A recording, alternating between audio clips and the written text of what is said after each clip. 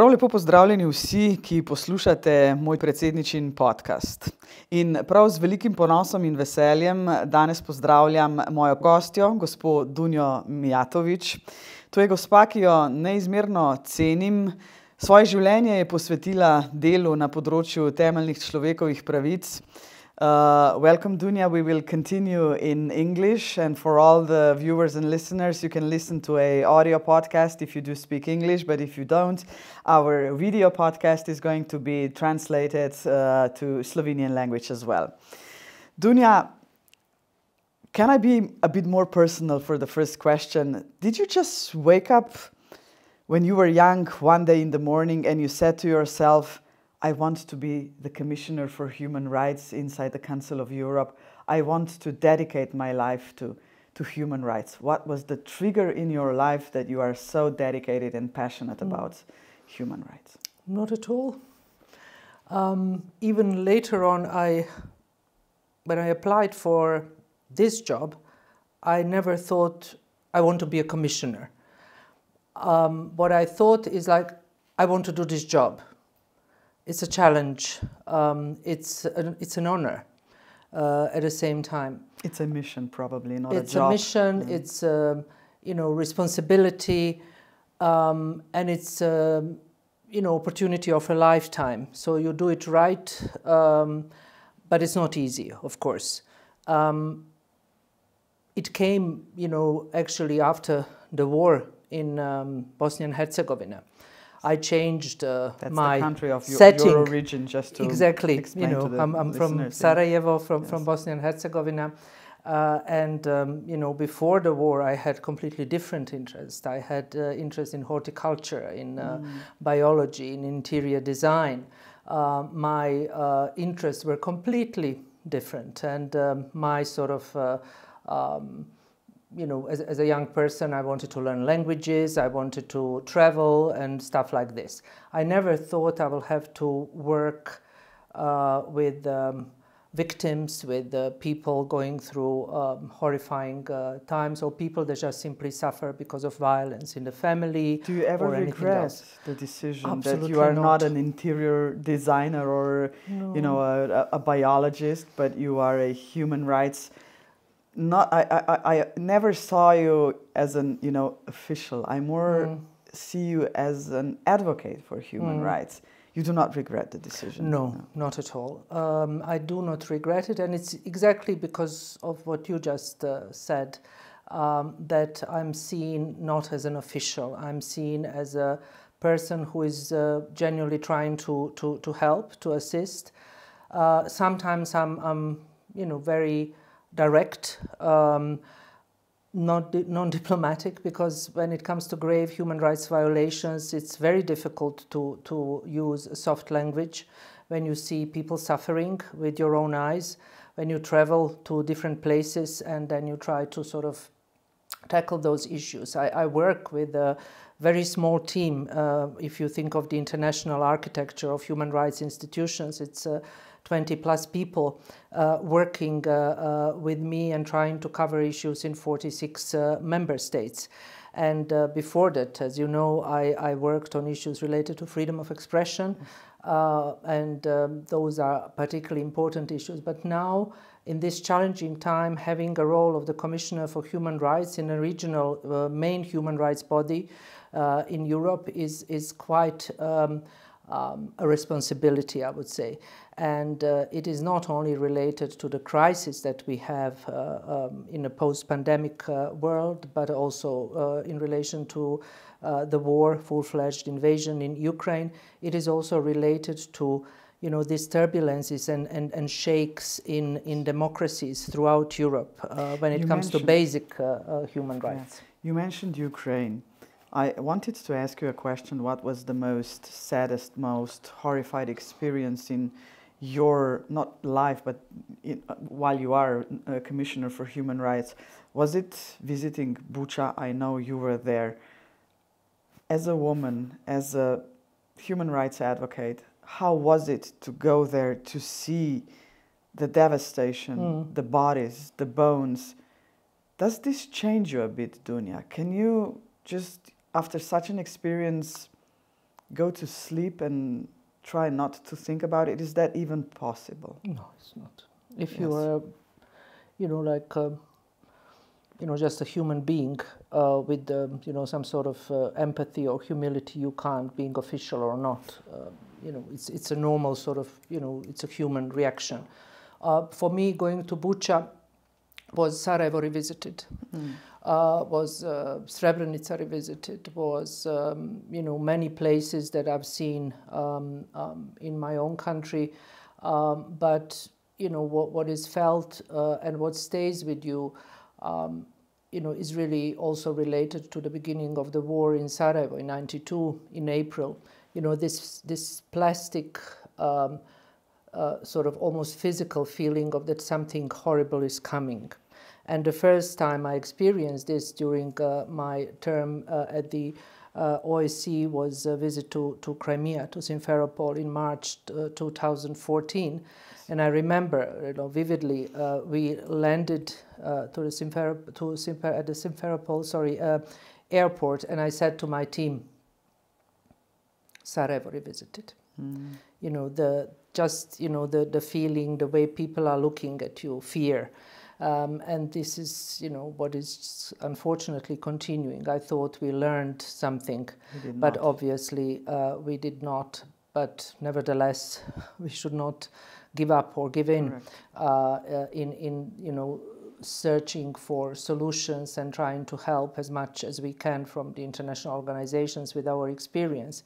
Uh, but it is important, you know, to have um, countries like Slovenia uh, when we talk about Western Balkans and uh, the way Slovenia is uh, so openly supporting uh, and, and helping and pushing.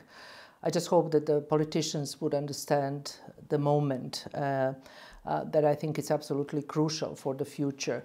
Um, and um, to, to appreciate, you know, the, this engagement when it comes to, um, you know, really having somebody to lead you and to make you understand why it is now or almost never.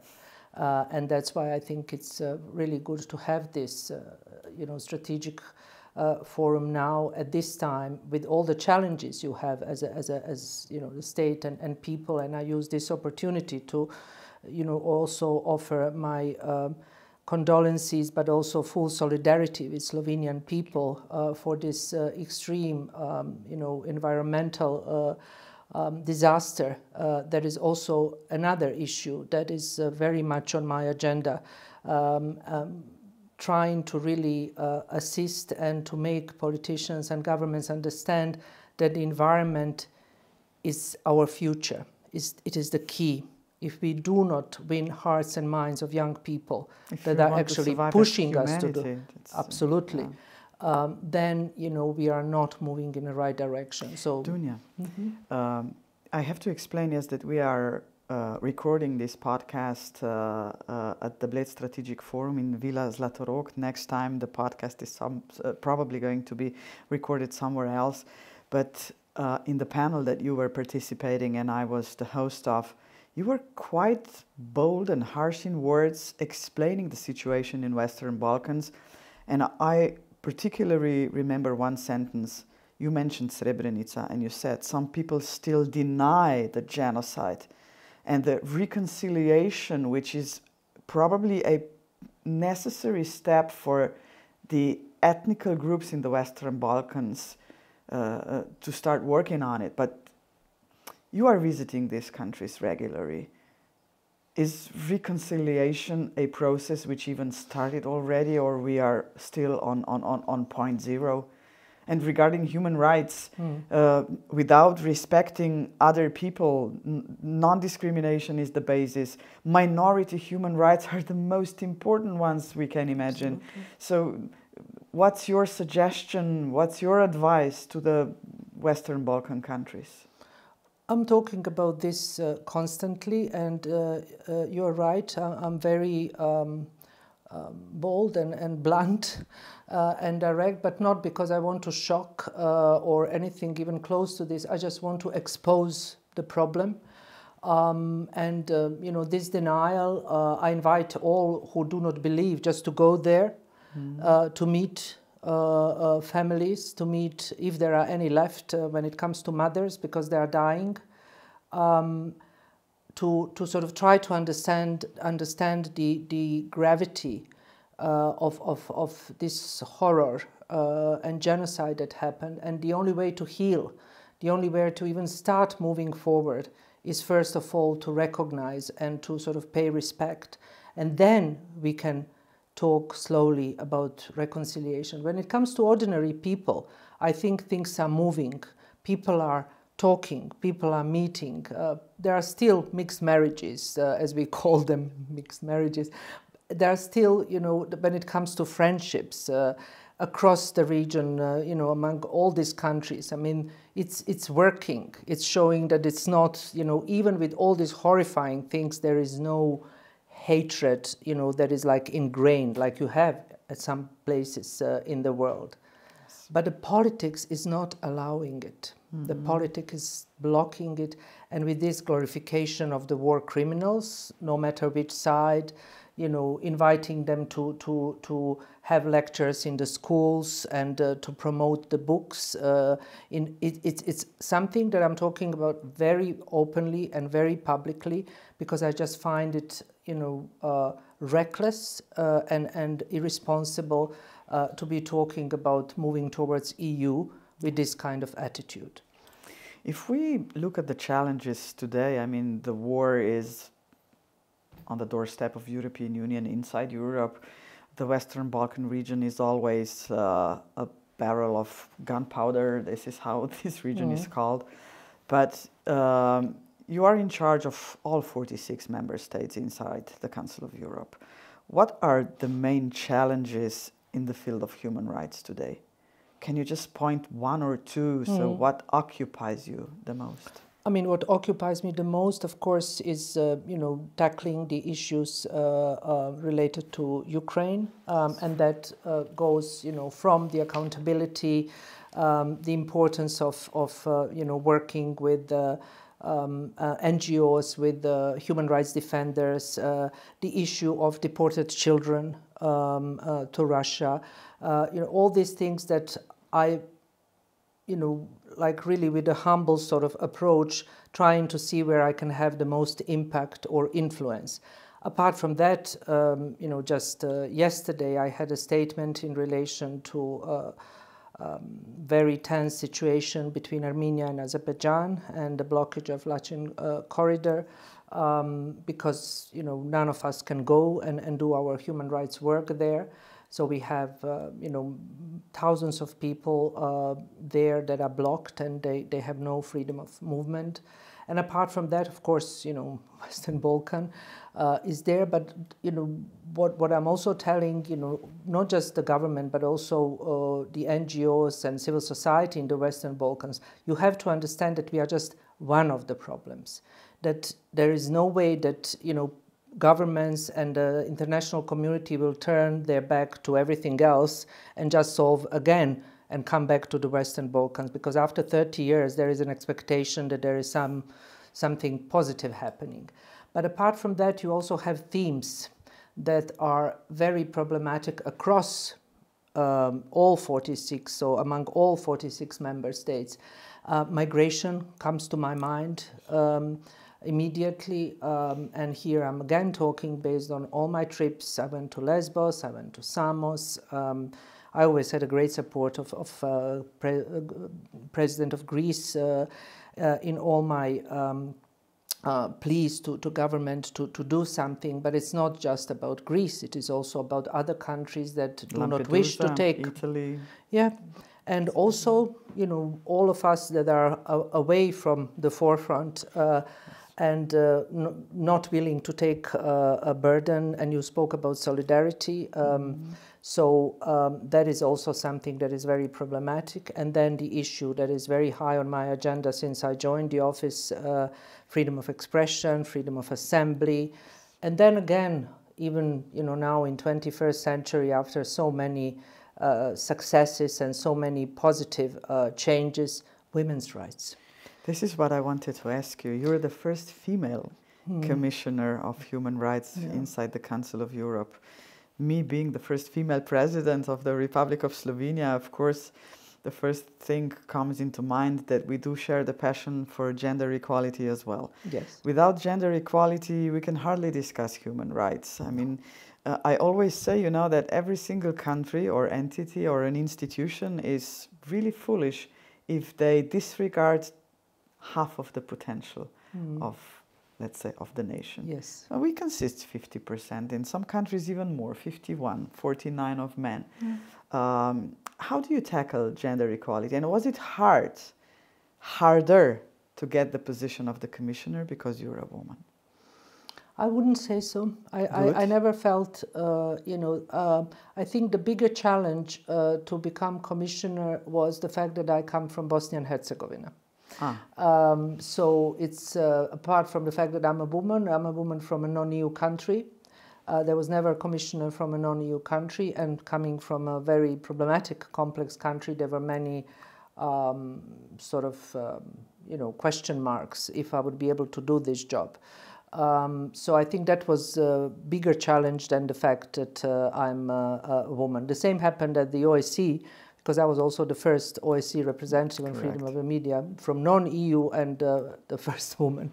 So at, at least, you know, I broke the ice uh, in order to, to make it uh, uh possible. So it's not your um, nationality that uh, is, uh, you know, leading your professional sort of life, but it's something else. It's a passion, as you said. It's, you know, also to do with what you are doing, you know, based on everything you achieved in your previous uh, life and how it you know really translates into the role uh, being uh, you know a role model uh, not only for uh, girls and, and women in, in Slovenia but uh, in in the whole of region and and beyond because I know I talk to, to, to, to, many and, and they talk about you very openly.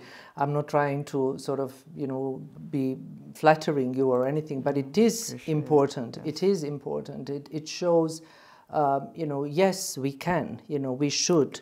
We should not really be shy, you know, like really shying away from, from saying, I want to be a president, you know, I want to do this, you know, I want to uh, uh, do um, any kind of job, you know, I, I want to be a, you know, a waiter, I want to, to or a waitress or whatever, you know, without sort of disregarding uh, things. But if, if you want to change things uh, for better, you should engage. Definitely. Um, and I know, I mean, I would never enter politics because I would be, you know, really disastrous.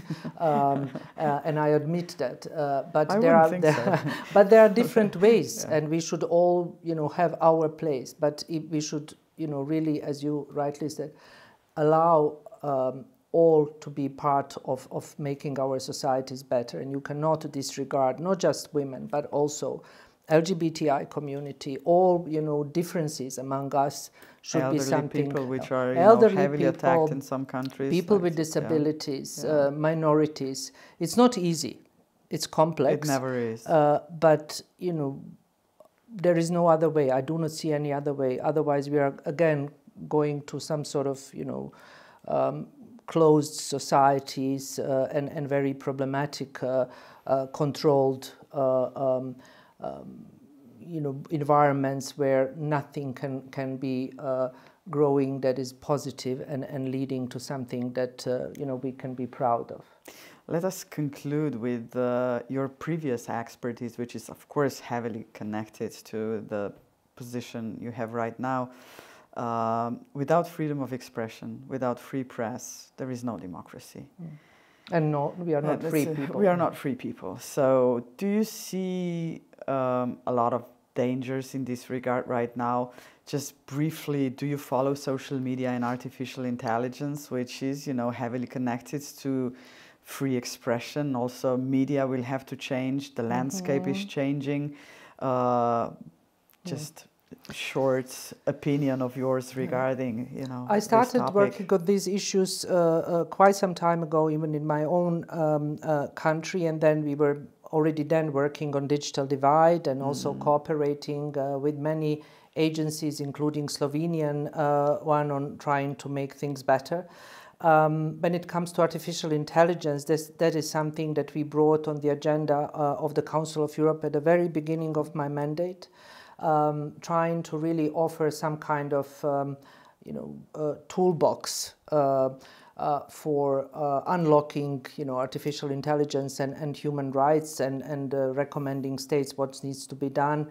And then we continued also with the latest uh, report where we talk about the importance of independent um, national structures in ombuds offices in, in the process of receiving complaints when it comes to artificial intelligence. But there we are again failing like we failed, you know, before the internet time when it comes to literacy, internet literacy, mm -hmm. AI literacy, um, and there, you know, we, we see problems. I also see problems with, uh, you know, uh, it's twofold. On one side, no regulation. On the other side, over-regulation. Yes um, and people becoming, you know, sometimes too sensitive uh, uh, when it comes to words. I mean, I do understand, and and I know that you do, that words can um, really hurt. But you know, if you want to live in democracy, you you also need to pay price sometimes to accept, you know. Um, uh, rhetoric and, and also uh, words that are, you know, provocative, sometimes vulgar, unacceptable. Uh, but we still need to, you know, find, um, uh, you know, or to, to, to make sure that this fine line is not crossed uh, and we do not become censors in order to tackle certain issues. But it's clear, hate speech is hate speech and that needs to be tackled. But how and um, you know, are we uh, moving in the right direction? Also, when it comes to public service media and many other things, particularly in this part of the world. Um, is is uh, is a big question for for many. And I always stayed, uh, you know, very much engaged uh, with uh, many colleagues that uh, worked hard on these issues. But it seems to me that also commercial part is suffering at the same time. Correct. So we we are in a way at the crossroads for a very long period of time. Uh, but I do hope that uh, you know artificial intelligence and the progress will not kill humanity like some are saying. Uh, I just think it's a bit of exaggeration.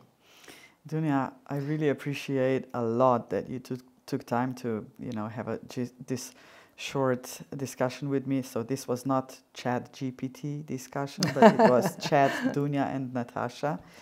And uh, one thing that I can take out of our conversation is definitely that where is the will, there is always a path. That's for sure. I wish you all the best. Continue the good work. We will follow each other and I'm pretty sure we will meet again. Vam pa hvala lepa, ker ste naj poslušali. Do naslednjič. Nasvidenje.